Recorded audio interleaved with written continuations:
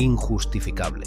El reciente informe de la plataforma No Tech for Apartheid ha puesto en evidencia la complicidad de gigantes tecnológicos como Amazon, Google y Microsoft en la campaña genocida contra el pueblo palestino. Estas empresas, que en teoría deberían estar comprometidas con la innovación y el progreso, han decidido alinear sus intereses con una maquinaria de guerra que, desde hace más de 10 meses, ha costado la vida de más de 40.000 personas en Gaza. Es un acto que va más allá de la mera colaboración. Es una traición a los principios fundamentales de los derechos humanos. Y es que el asedio de Israel contra Gaza ha tomado un nuevo giro con la implicación directa de empresas tecnológicas de Silicon Valley cuya infraestructura ha sido aprovechada para llevar a cabo acciones genocidas. La tecnología de punta que podría utilizarse para el desarrollo y el bienestar social está siendo empleada para fines destructivos y represivos, exacerbando el sufrimiento de la población palestina. Amazon, Google y Microsoft han construido una infraestructura tecnológica robusta que está siendo utilizada para la guerra y contribuye directamente a la destrucción del pueblo palestino. Amazon Web Services, AWS, ofrece a las Fuerzas de Defensa de Israel, FDI, una capacidad de almacenamiento ilimitada, donde se recopilan y gestionan datos masivos. Esta nube no es simplemente un repositorio de información, sino una herramienta que facilita la gestión y recuperación de datos esenciales para las operaciones militares. Los datos almacenados incluyen imágenes satelitales, comunicaciones interceptadas y otras formas de inteligencia que permiten a las FDI seleccionar y atacar objetivos en Gaza con una precisión letal. Google y Microsoft, por su parte, han contribuido con tecnologías avanzadas de inteligencia artificial y aprendizaje automático, estos sistemas son capaces de analizar grandes volúmenes de datos en tiempo real, identificando patrones y prediciendo comportamientos que luego son utilizados para coordinar ataques militares. Por ejemplo, los algoritmos pueden determinar los movimientos de grupos de personas o identificar ubicaciones clave basadas en la densidad de datos recopilados. La inteligencia artificial, en este contexto, no es simplemente una herramienta de análisis, sino un actor activo en la maquinaria de guerra. El proyecto Nimbus un contrato multimillonario entre Google, Amazon y el gobierno israelí es un ejemplo de cómo estas tecnologías están directamente implicadas en la ocupación y el control de territorios palestinos. Este proyecto facilita el acceso a tecnologías en la nube, no solo para almacenar datos, sino también para implementar soluciones de inteligencia artificial y análisis de datos que refuerzan la capacidad de vigilancia y represión de las FDI. La implementación de estos sistemas ha permitido que el aparato militar israelí funcione con una eficacia sin precedentes, llevando la opresión a un nivel más sofisticado y automatizado. Además de su uso directo en operaciones militares, la infraestructura tecnológica proporcionada por estas corporaciones también se emplea para mantener un sistema de vigilancia y control sobre la población palestina. Las plataformas en la nube de Amazon y los servicios de datos de Google permiten a las autoridades israelíes recopilar y analizar información sobre cada aspecto de la vida diaria en los territorios ocupados. Esto incluye desde monitorear comunicaciones personales, hasta rastrear movimientos físicos a través de cámaras y otros dispositivos de vigilancia conectados a la red. Esta vigilancia masiva no solo tiene un impacto devastador en la privacidad de los palestinos, sino que también facilita el control social y político. Las tecnologías que se utilizan para segmentar poblaciones, restringir movimientos y anticipar acciones disidentes permiten a Israel mantener un control férreo sobre los territorios ocupados, haciendo que cualquier resistencia sea prácticamente imposible. La recopilación de datos biométricos y el uso de algoritmos para perfilar y predecir comportamientos han convertido a la población en sujetos de un experimento de control social a gran escala. En este contexto, las empresas tecnológicas no solo proveen las herramientas, sino que también están directamente involucradas en su implementación y mejora continua.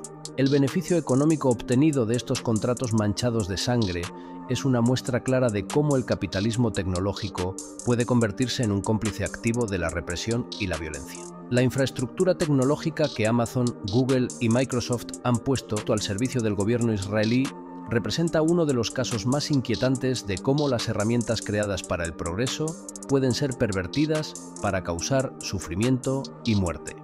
La responsabilidad de estas empresas en el conflicto israelí-palestino va más allá de la mera provisión de servicios. Están directamente involucradas en la perpetuación de un sistema que viola los derechos humanos a una escala masiva.